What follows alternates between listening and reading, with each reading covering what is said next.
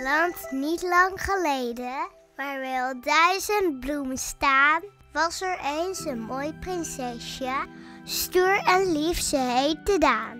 Mijn naam is Louis van Beek en ik ben de schrijver van het sprookje Het Stoere Prinsesje. En mijn naam is Shanna Chatelier en ik ben de regisseur en bewerker van de gelijknamige theatervoorstelling.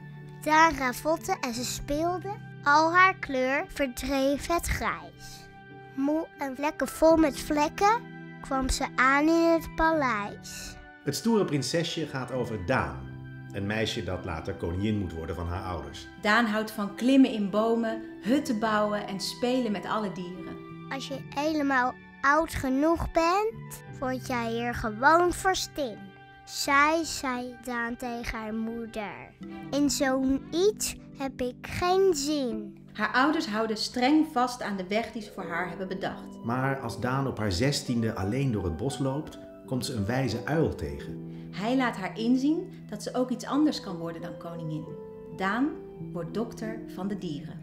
Maar ze durfde niet te zeggen wat ze nu besloten had.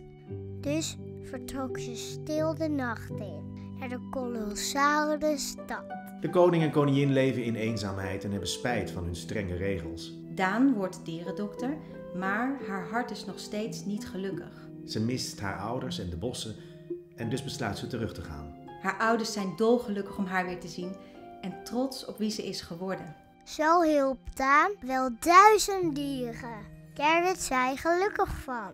Van jezelf zijn is het mooiste dat een mens bereiken kan. Ik heb dit sprookje geschreven omdat ik het leuk vond om een verhaal te vertellen met een stoer meisje. Dat misschien niet voldoet aan het ideale beeld van een prinses, maar dat wel haar eigen weg kiest. Ik vond het belangrijk om een verhaal te vertellen waarin alle kinderen zich kunnen herkennen. En waarin een meisje uh, dat misschien prinses zou moeten worden, andere keuzes maakt en daardoor veel gelukkiger wordt. Voor ik uh, het sprookje schreef, had ik al vaker gesprekken gehad met Shanna over het feit dat niet alle kinderen zich in alle verhalen, sprookjes, voorstellingen kunnen herkennen. En dat, daar heb ik over nagedacht. En toen dacht ik, misschien is het mooi om uh, de illustrator te vragen, Harmen van Straten, om het meisje van kleur te laten zijn. Representatie in kinderboeken en jeugdvoorstellingen is ontzettend belangrijk, omdat kinderen op die manier leren hoe de wereld er in zijn volledigheid uitziet. Ze leren over wat ze kennen en wat ze niet kennen.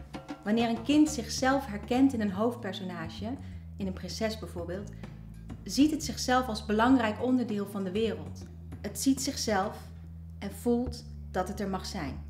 Het Stoere Prinsesje wordt een poëtische, muzikale voorstelling voor iedereen vanaf vijf jaar. Drie acteurs spelen het verhaal met live muziek en natuurlijk de poppen van Theater Gnaffel. Artistiek leider Eloud Hol zal de acteurs vooraf begeleiden in het maken van de poppen en tijdens de repetities met het coachen in het poppenspel.